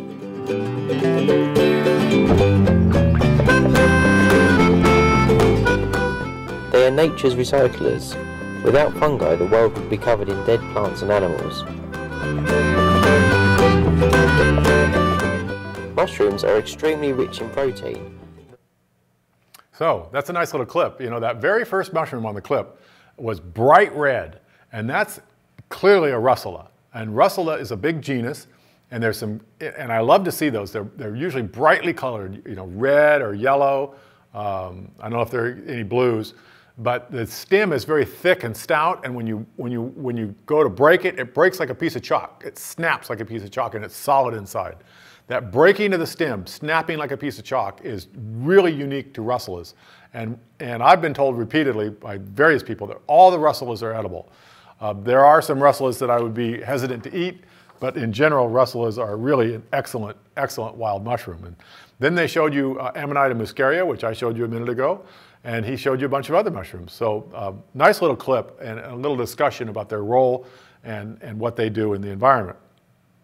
Now, the other one I want to show you, now the oyster mushrooms grow on logs, but so does shiitake, which is Lentinula edodes. Let's take a look at our next picture, which is number nine, and bring this up full screen. And everyone, and shiitakes uh, are um, really popular. Now what you can do is you can either order these uh sawdust logs that are inoculated, and then you uh, can just get them to fruit right there in your kitchen. You pull the bag off, you soak the sawdust log in water, and then it produces mushrooms. Or you can inoculate logs. Here, you see, they're, they're growing on these logs, and this is how they were traditionally grown uh, in Japan for, for centuries, is they would inoculate logs, and then they will produce mushrooms for about uh, five years, twice a year for about five years. So uh, let's take a look at the next picture. Uh, uh, shiitake have a, a white spore print, and uh, so, and, and, really an excellent, excellent mushroom. You can buy them in the grocery stores now. They're produced on sawdust logs. Um, but you can see uh, these wonderful looking shiitakes. Now, um, uh, Eddie actually, uh, who emailed us earlier about donating his uh, cactus and succulents, uh, just sent us a picture.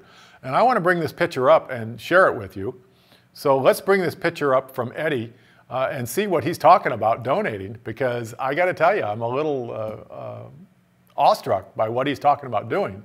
Look at, look at these, uh, uh, this, this cactus garden that he wants to donate. Uh, wow, Eddie, wow. You've got there in the background some tall euphorbias. You've got some columnar cactus. You've got the barrel cactus in the front. that is a collection of cactus that is incredibly, incredibly expensive if you tried to plant that in your garden. If you wanted to convert your garden to a cactus uh, garden, a cactus and succulent garden, uh, and make it look like this, you'd have to have a pretty fat uh, checkbook uh, or bank account. Each one of these columnar cactus is in the hundreds of dollars in terms of value.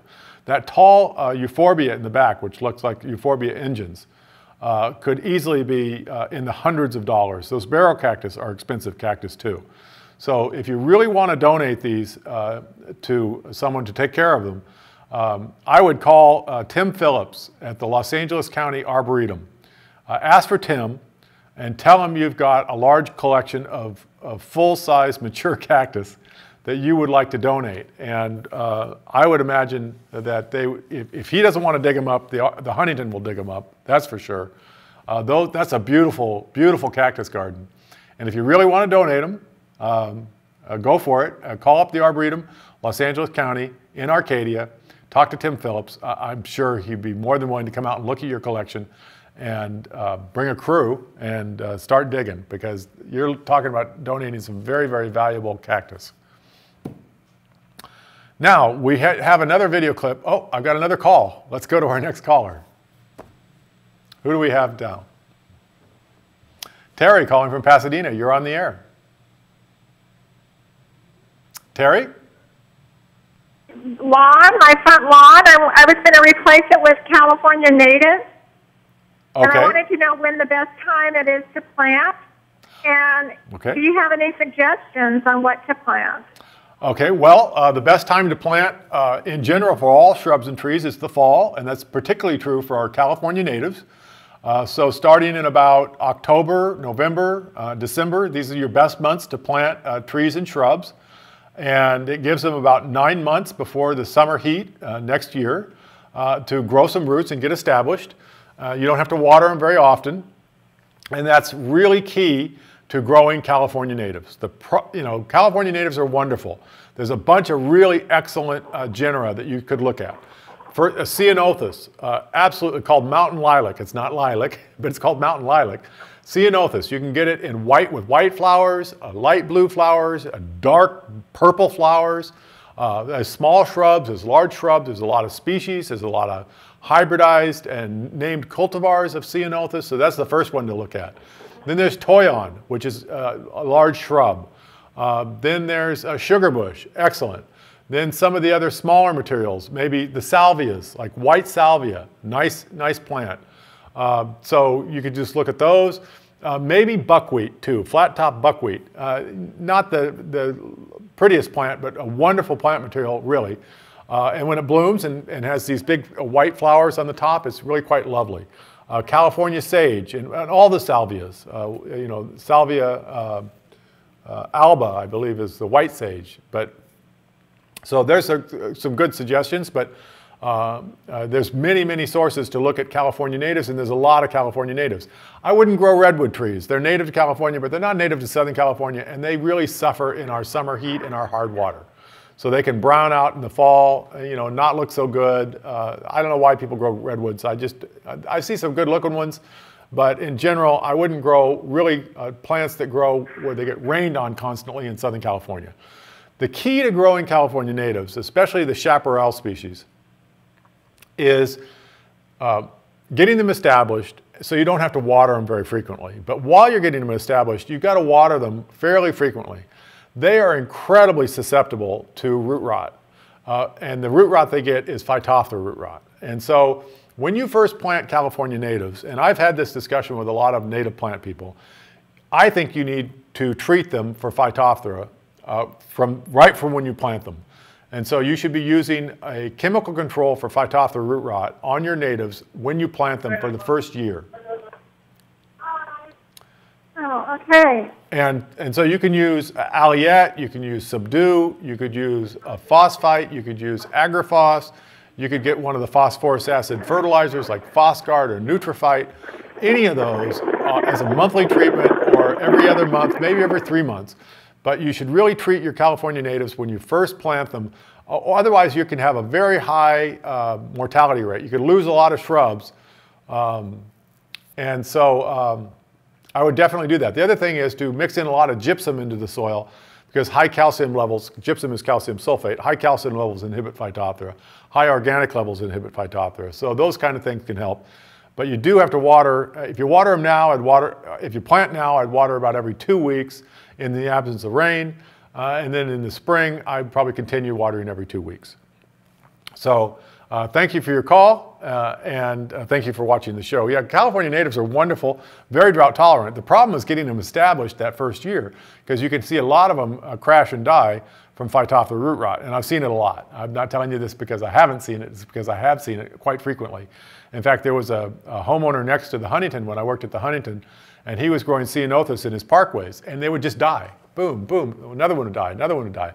And then the, uh, somebody from the California Plant, uh, Native Plant Society gave him a bottle full of Subdue. and what do you know? All his, he started treating his Subdue and they did wonderful.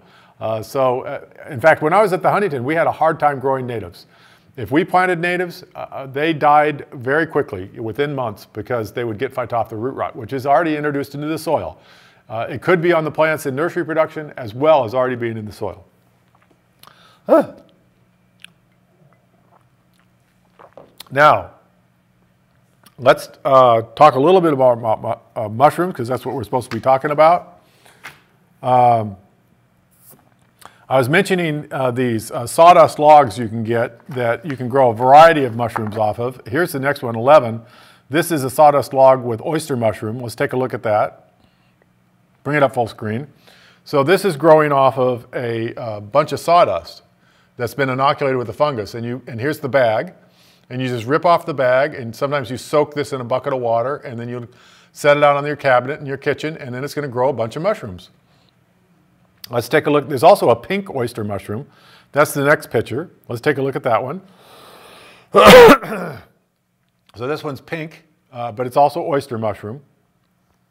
Now, before we move on to a whole bunch more pictures of mushrooms, uh, I do have another video clip I want to show you on how to grow mushrooms. If you want to grow oyster mushroom or shiitake or some of the tooth, you know, hedgehog, uh, there's, there's a bunch of mushrooms you can grow on logs. Let's look at this video clip. It shows you how to inoculate a log to grow mushrooms on a log. And then the log will produce mushrooms for up to five years, usually twice a year.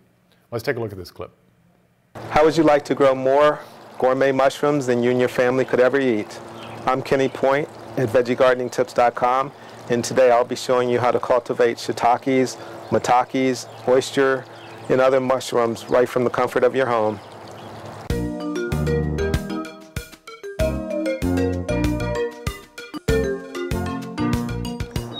Today we're going to be growing some mushrooms using a hardwood log. You can save a lot of money by growing your own, and this is even better than using the kits that you can get at the stores or you can, that you can order. You'll get a lot more production out of a log. And the process itself of inoculating, inoculating the log is pretty simple and easy to do. You want to start with these plugs that have been uh, suffused with the mushroom spawn. You can see the little white streaks in the groove. That's the mushroom spawn. The little dowels are just the carrier to get them inside the log. You just want to drill a hole. This log has already been inoculating. I'm just going to show you how easy it is to do. You can see the spots where the wax is covering the hole. That's where the plugs have already been inserted. And I probably used about 75 plugs in this log. So we're just going to add a few more.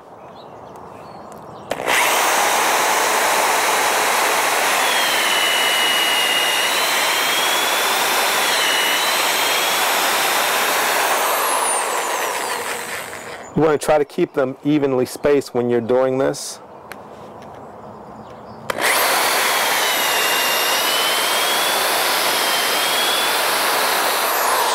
And I'll do one more here.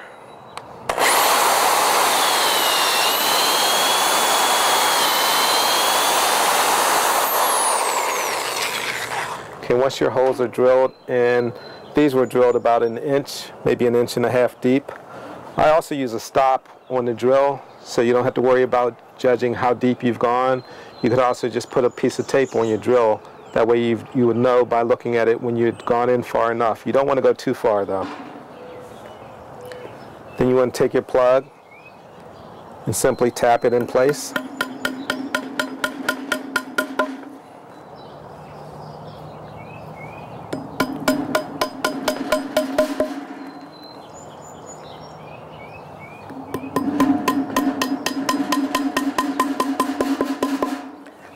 Simple it is.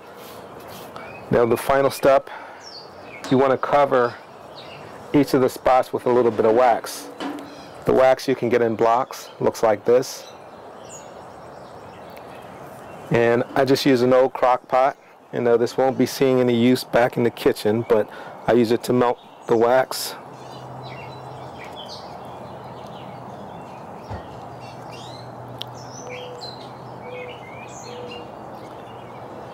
and you just use a little bit to cover the plug that you've just put in.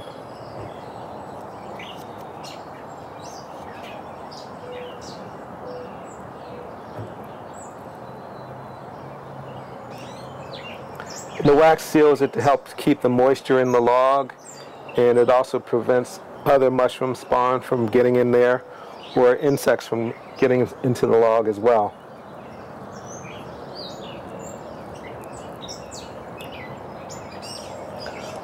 One final step that I also do, which isn't required, but I will also seal the end of the log. Just cover that with wax as well, again to keep the moisture in there. So I'll take now I'll take this log and I'll just set it aside. And it's going to take at least 12 months before you'll start getting any mushrooms from this.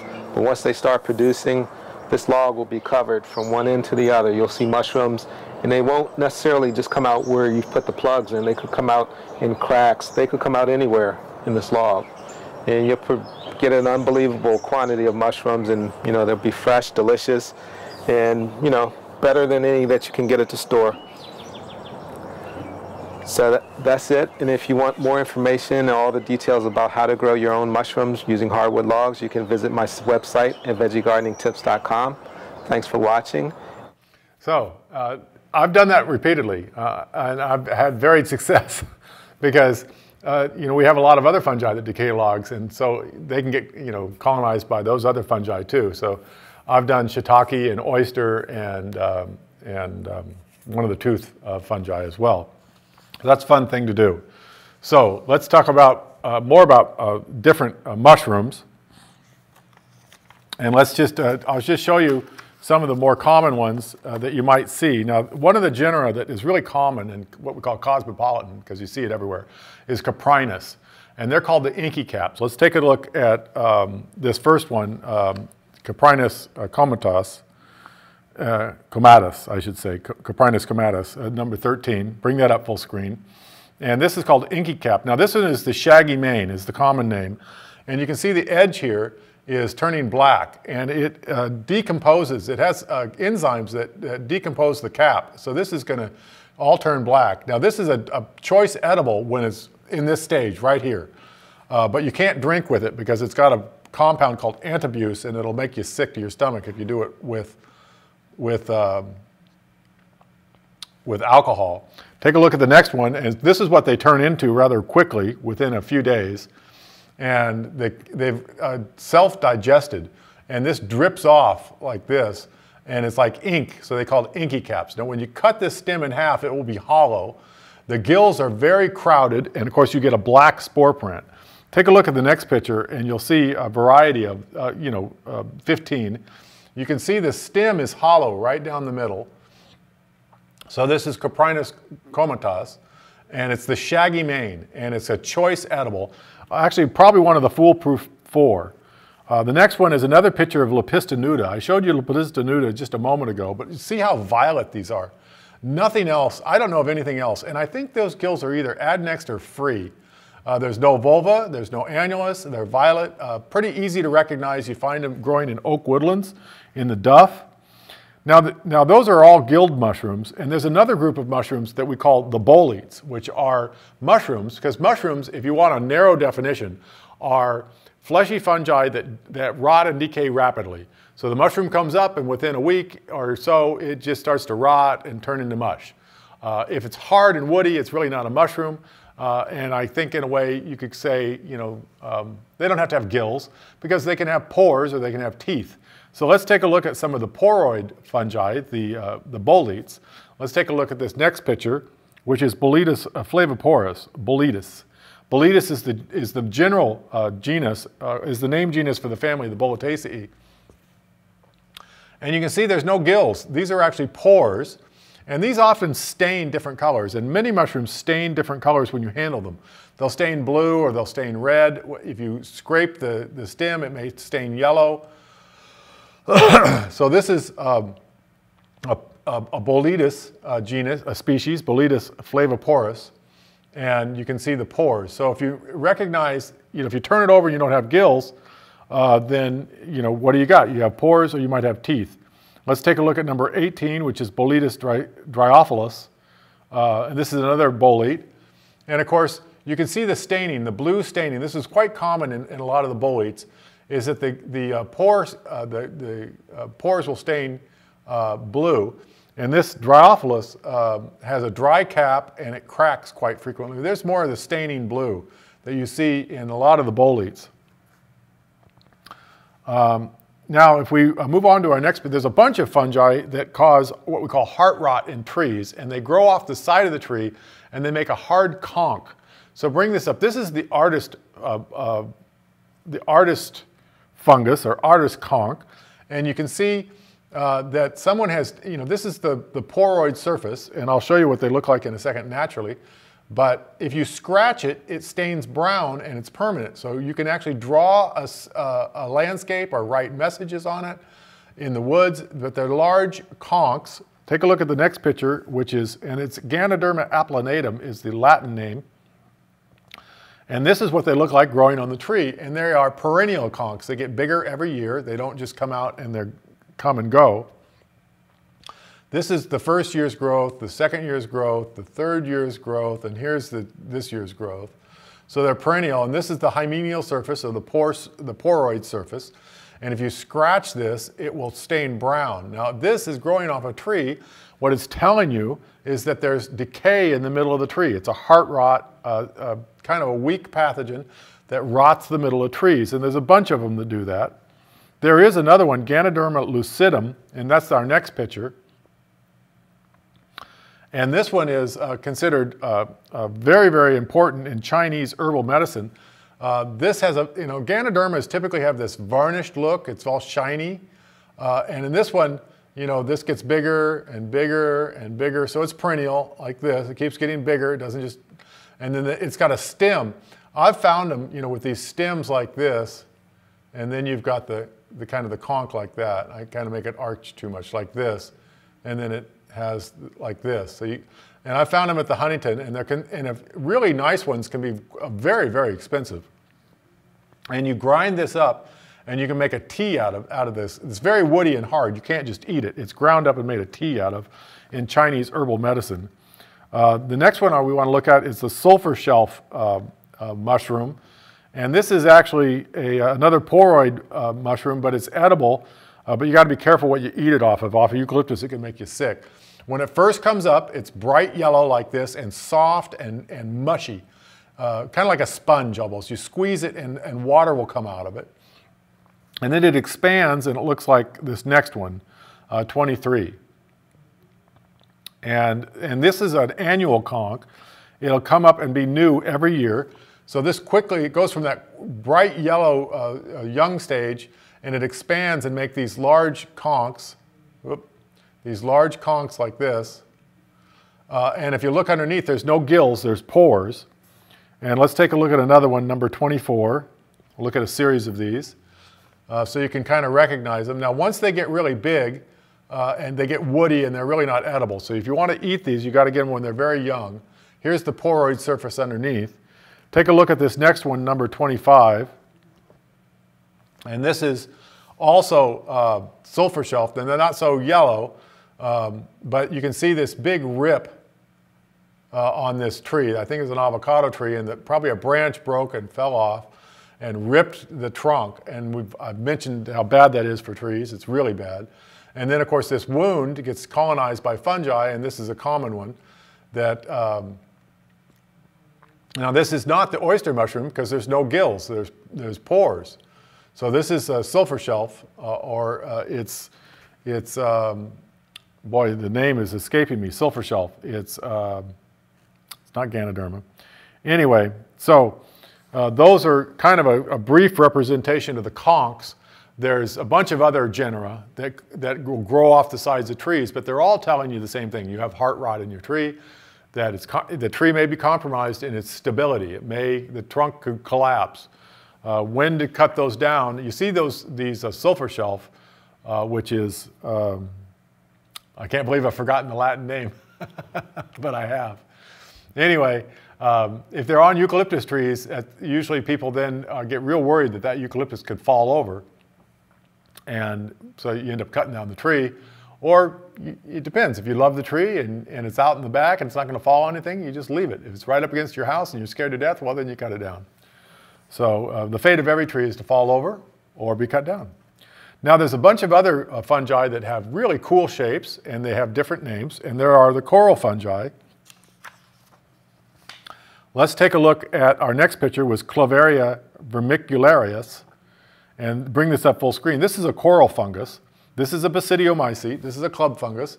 So it's related to the, um, to the you know, gilled mushrooms, uh, but it makes all these uh, long uh, stalks in its fruiting body, and the spores are made at the tips along here.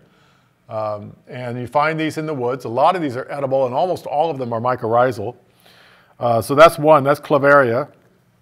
There's another genus called Ramaria. Let's take a look at that. This one really looks like coral. And often you find these covering the forest floor, uh, you know, for hundreds of square feet. And all the spores are made at the very tips. And so this is Ramaria. That's a common genera uh, within the coral fungi. And I, I also mentioned uh, the tooth fungi. Let's take a look at number 28. This is Hericium erinaceus. And this is called the hedgehog uh, mushroom. This is a choice edible. I found it growing on an oak stump in Eaton Canyon one year. Uh, but you can grow this on a log, just the way you grow, you could grow oyster mushrooms, you could grow shiitake mushrooms. You can get this from Fungi Perfecti, uh, inoculated on the little oak, on the little pegs, put it in a log, and you'll get this to grow off the log. And this is a choice edible. Uh, let's move on to our next one, which is called Auriscalpium vulgare. This is another um, uh, tooth fungus. See these little teeth under here? This grows exclusively on pine cones, and it's the only mushroom you'll find fruiting off of a pine cone. It's really very small. It's only about the size of a quarter. This is maybe a, an inch across. Very, very woody and hard, not edible. The stem is black. It's got little teeth underneath instead of uh, gills, which is always fun to see.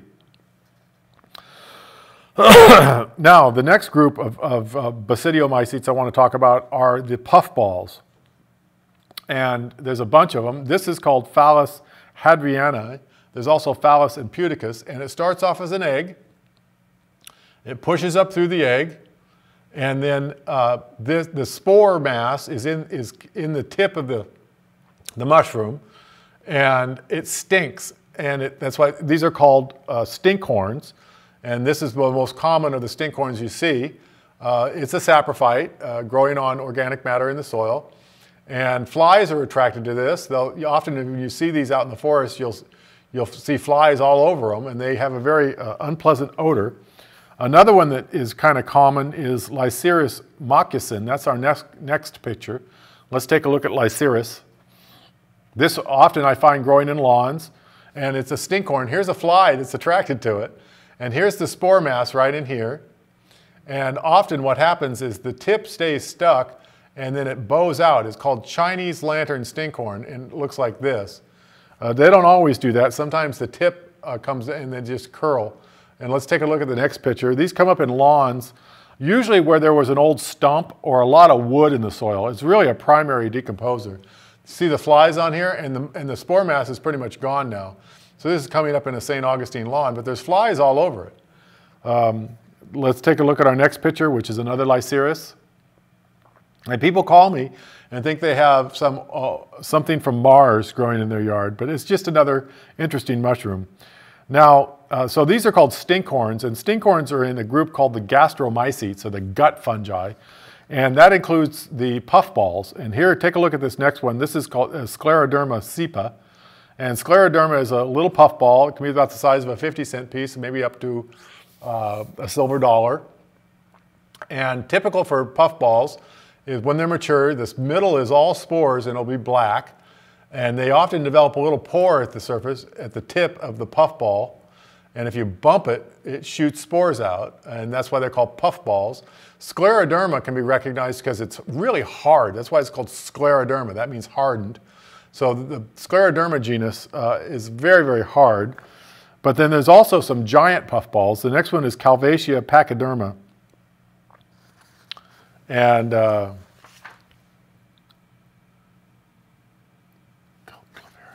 so this is uh, Calvatia pachyderma. This can be the size of a basketball or a soccer ball. They're really quite large and a choice, a very good edible if you get them when they're white inside. If you find it like this, and you cut it in half and it's all white inside, slice it up like a steak and cook it up because it's excellent. Uh, there's another Calvatia which is really, really cool. It's called Calvatia sculpta. And I found this up in the Sierras uh, repeatedly. And usually when I find it, it's half eaten by deer.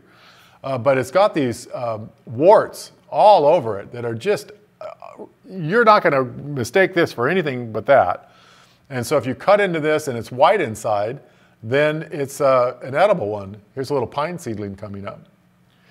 And then the next one is another Calvatia sculpta. They aren't always quite as uh, uh, pronounced as these warts, but if you look at number 37, this next picture, Calvatia sculpta, you can see another one, again, with these warts, but they're not quite as large, and if you cut into it and it's white, then it's choice edible. Now there, there's another kind of puffball that they call earth stars. Let's take a look at number 38. This is Geastrum fornicatum. Uh, this is Geastrum, and see, they actually, instead of just having the puffball, they also have this other uh, outer peridium. Now when they're, when they're dry, this comes up like this and covers it up. When it gets wet, these peel back and push it up in the air, and so they look like a star. They're called earth stars, and if you punch, if you tap this, it'll shoot spores out here. So it's really a puffball with just a, an extra uh, periderm. This is called, this is the periderm, this is the outer periderm, the inner periderm, and uh, this actually serves to lift it up off the ground in wet weather when it rains. And when it dries up, these will curl back up and it'll be uh, all covered up. Um, and I think, I'm not sure what that is. Maybe some other puffballs. So these are called earth stars in Geastrum. There's some other genera within the earth stars. the next group of fungi I want to show you are called the bird nest fungi. This is also in the gastromycetes. These are all gastromycetes, gut fungi. Bring this up. This is Crucibulum leve. And if you see these, you'll think, what is this weird uh, thing growing on these uh, branches or twigs or fences? You see it all over the place. These are called uh, um, uh the eggs or the peridioles. And this is a little bundle of spores inside. The rain comes down and hits it and throws it out and it goes flying and then it lands on something and the spores germinate and it, it's a saprophyte. But they're real fun to see. There's a handful of different uh, uh, genera within the uh, bird nest fungi. And uh, take a look at our next picture, and this is Nidula candida. And bring this up, and you'll see it looks a little different. It's, it's got a lot of hairs or filaments on the outside. It's very fuzzy. So this is another common one. You often find them on the forest floor, growing in the duff, or growing right on a log. And then there's Cantharellus, uh. This is the chanterelles. And these don't really have gills. They have folds, which can be very difficult to tell apart, but also they don't have that typical uh, mushroom shape that you often see on a mushroom like this. You know, this is an umbo. Uh, or maybe just be like this. The mushroom may be like this with your stem. These have a shape like this. So it's lower in the middle. Plus, they're usually, you know, they can be in different colors. Chanterelles can come in, but typical, you know, for Cibarius, uh, Cibarius it's going to be yellow. and then the gills are not really gills, they're just kind of folds um, in, the, in the cap. Uh, the next one I want to show you are, now we're going to move over to what we call the sac fungi. Bring this up. This is Peziza repanda. And these are not, uh, the, these are sac fungi. Uh, we were talking about sac fungi and club fungi. This is sacs lining the inside of these cups, this is a cup, are, if it's like this, they've got these sacs, they're called an ascus, and inside are, are spores, and it's more like this. And they got spores inside of them, like that. And when, this, and when you bump them, the tip comes off and these go flying out. And it looks like a little puff of smoke coming out of here. Uh, this is Peziza repanda, very common at the Los Angeles County Arboretum. I see it there all the time growing in the wood chip. It's a saprophyte. The, another uh, cup fund, the, these, that cup is called an apothecia. Um, it's easy, you know, just call it a cup. But there's another one called Aleuria aurantia, or the orange peel fungus. Bring this up. And I found this uh, many times uh, around the San Gabriel Valley. One time I found it growing in the lawn right by Caltech on California. And it's bright orange. It looks like an orange peel, but this is an apothecium. This whole thing is an apothecium or a cup. It's lined with these microscopic sacs. If you bump it, it shoots spores in the air. It's really cool, really fun to find. Uh, whether they're edible or not, I don't know. Now, there's another um, uh, uh, one. This one is probably, this next one I'm going to show you is one of the most prized edibles, and probably also what you could call one of the foolproof four.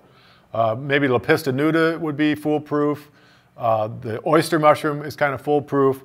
And this next one is pretty foolproof. There are some similar ones, but they're not very similar, really, and I'll show you why.